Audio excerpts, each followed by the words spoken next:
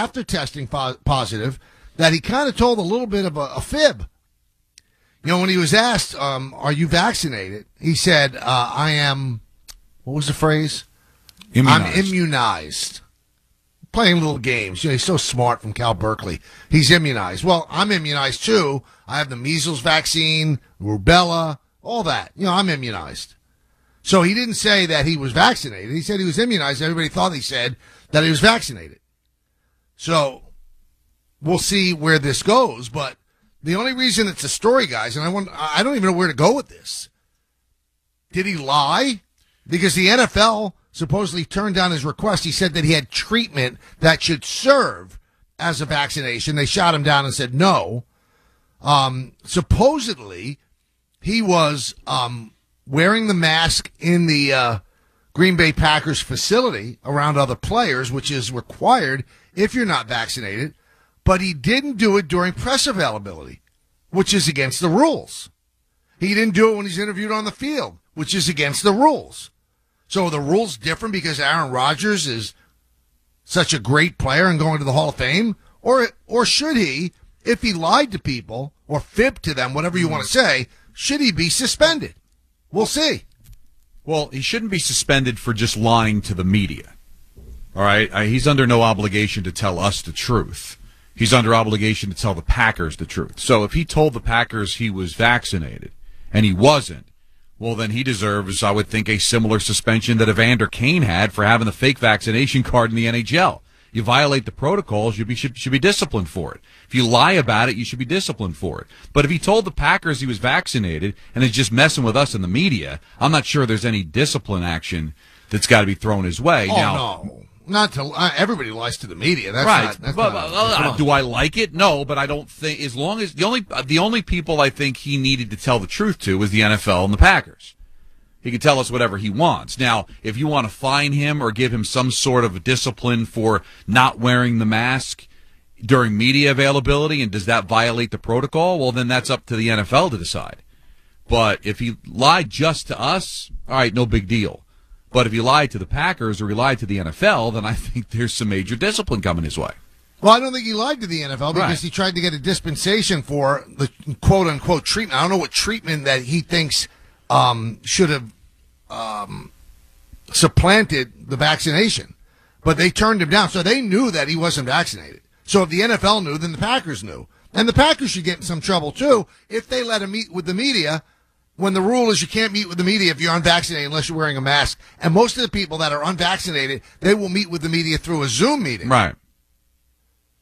So, So- the Packers could be in trouble too. I would think so. It's still a violation of the protocol. So what does that mean? I don't know. What what what you know, you got the players association involved, so does that mean a fine? Does that mean a suspension?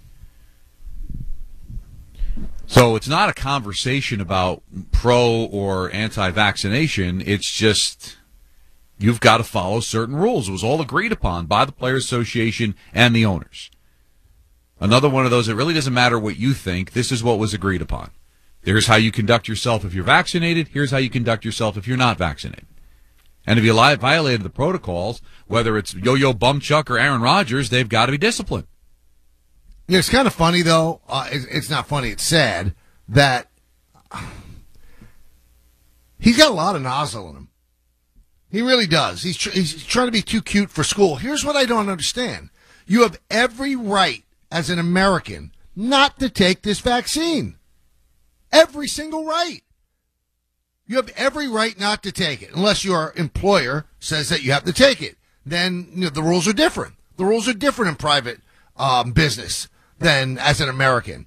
But he has every right not to take it. But why do these people that aren't going to take it? Why do they lie? What What are they ashamed of? Why don't they tell us that? He has Aaron Rodgers has every right to say, "Know what? I wasn't vaccinated." Instead, he plays he plays games, word games. He says, "Oh, I'm immunized." Well, immunized from what? Not now. Every time somebody is asked that question, they have to have a follow up. Or oh, are you vaccinated against coronavirus? And then they'll get ticked off at the media for digging down. Uh, They have to ask the question. But again, too cute for school. He's a real nozzle. There's so many things about him that are nozzly. They really And- are.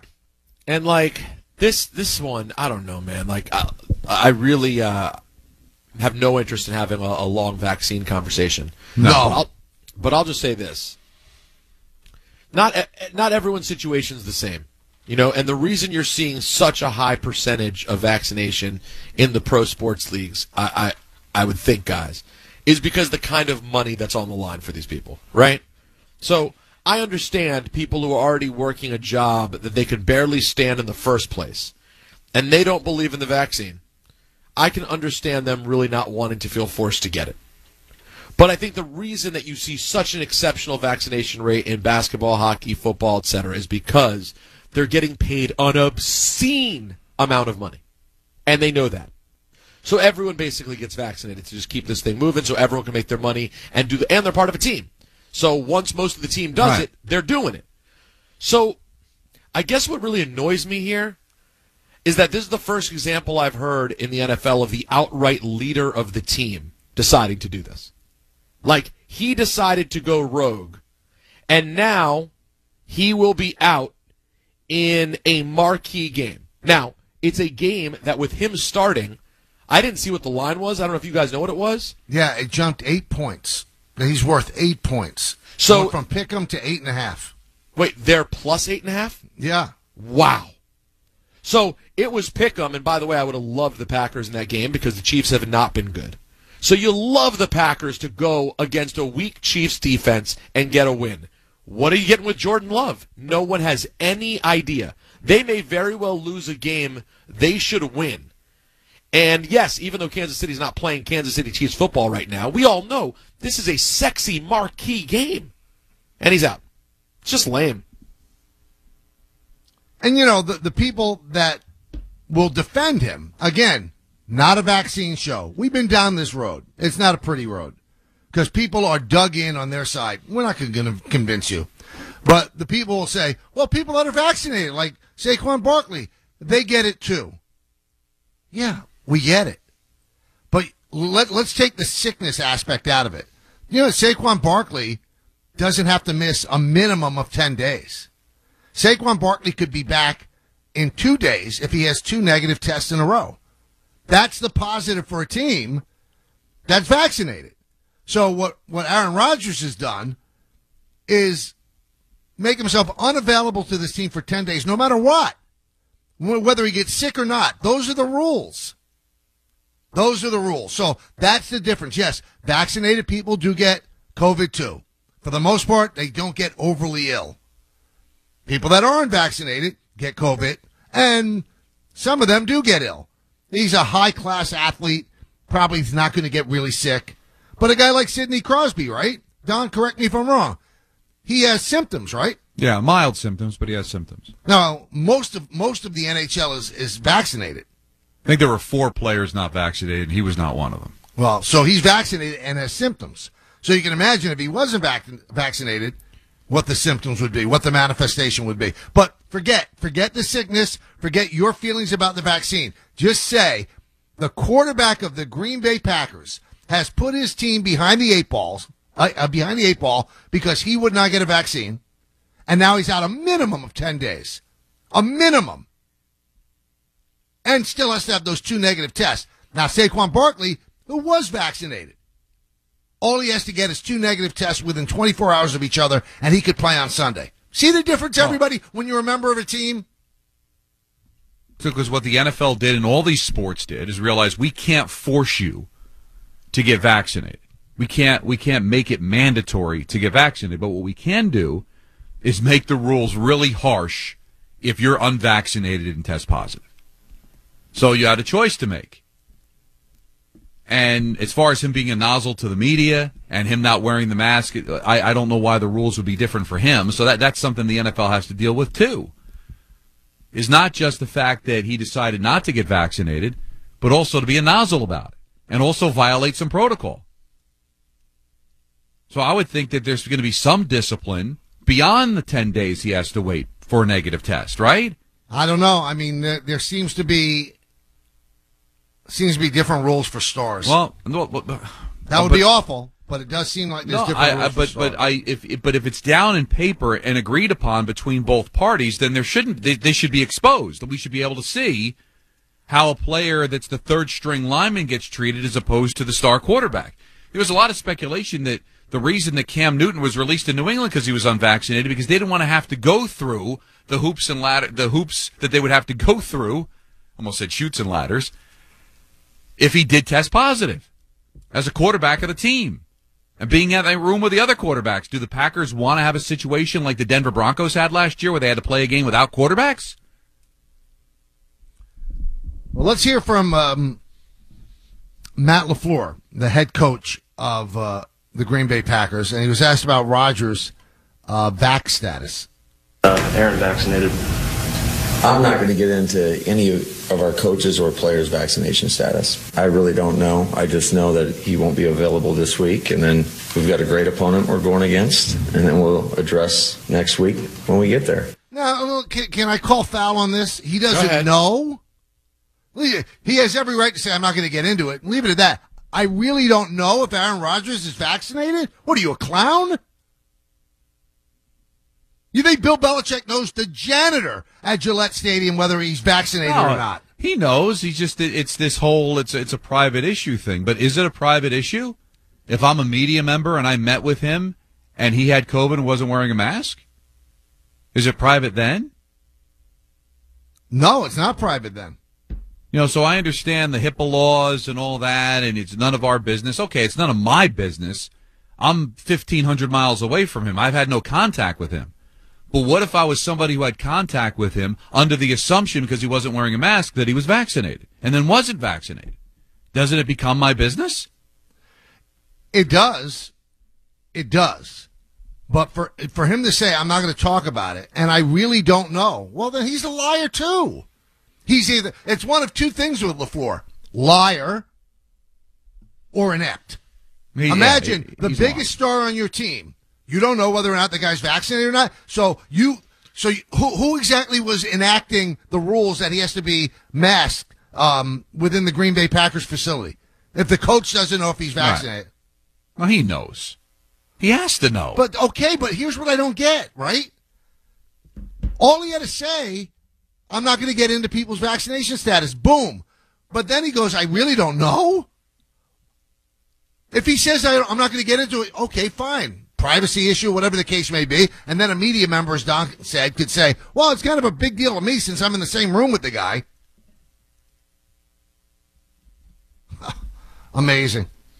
Uh, Rob Demovsky covers the Packers for ESPN. He was on Greeny. Here's what he said about Rodgers um, not following protocols. Carson Wentz is unvaccinated, right? That's been noted. And every time I've seen him on the sideline, he's wearing a mask, right? When he comes off the field, he puts a mask on. When he goes to shake hands after the game, he has a mask on. Rodgers hasn't done any of that in the public. I don't know what he's doing behind closed doors. The unvaccinated players would, will have to wear masks in the facility when they're in meetings and things like that. We don't know what he's doing there, but when he's in the public and in places just like Carson Wentz is wearing a mask, Rodgers is not wearing.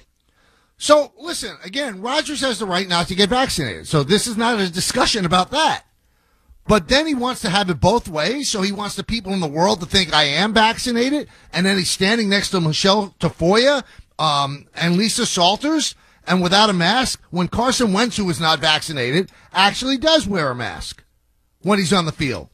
Well, why does he get that? Well, that's Aaron Rodgers. It's Aaron Rodgers. Come on.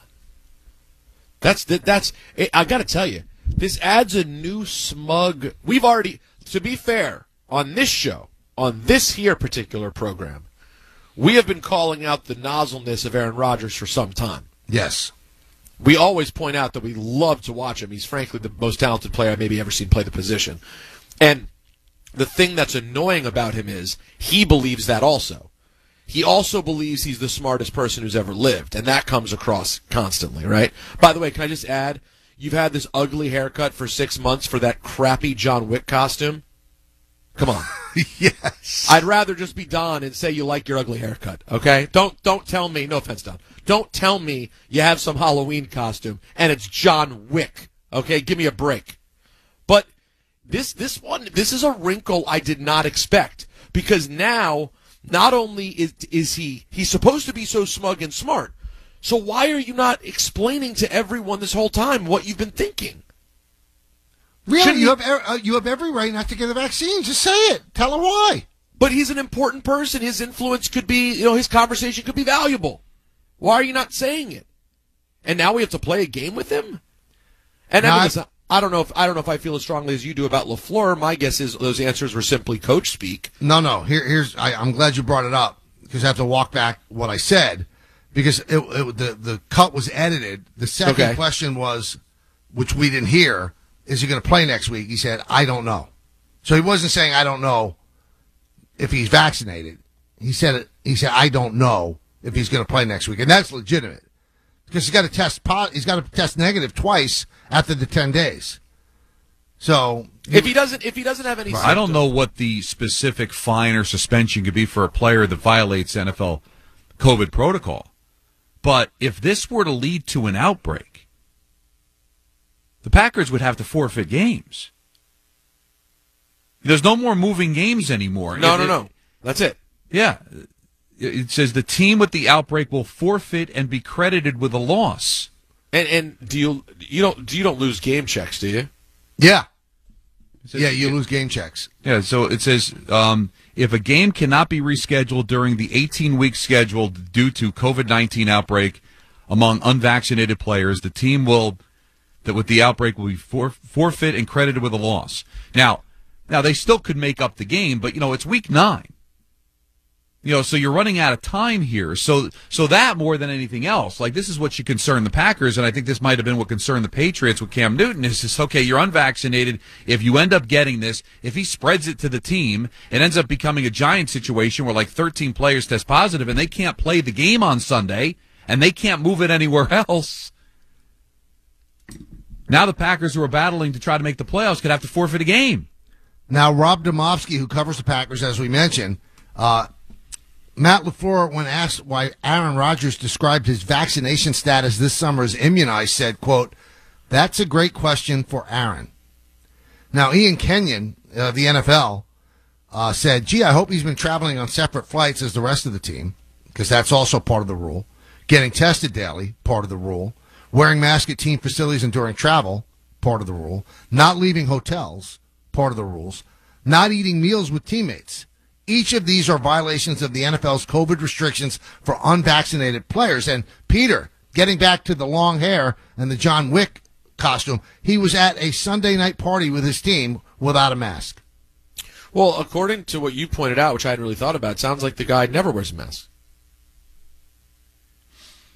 Listen, vaccinate, don't vaccinate. If you don't vaccinate, wear a mask when you're around people. If you're if you are unwilling to get vaccinated or wear a mask, I got nothing for you, fam. No, I. I, I just think the like- seven hundred thousand deaths. I got nothing for you. it's any other rule. All right, and, and and listen, this is a free country. People have pointed that out numerous times during, over the last twenty months. If you don't want to get vaccinated, don't get vaccinated. If you want to march, if, if if God forbid you lost your job, if you want to march against the mandates, protest against the mandates, you're free to do that as well. But if you work for a private business, then you can be unvaccinated. You got to follow the rules. If that means getting tested every day, you got to get tested every day. If that means you got to wear a mask, you got to wear a mask. If that means you got to travel separately, you got to travel separately. And you know that the, the, the Packers, they're walking on eggshells around this guy. He almost didn't come into camp, right? So you think that, that Matt LaFleur is going to tell him, you know what? I'm sorry, Aaron, you got to travel on a separate flight. That's the rules. There's no way they did that. Hmm. There's no way. And they knew he was not vaccinated. All right, we'll talk to you about it. 1 800 919 3776.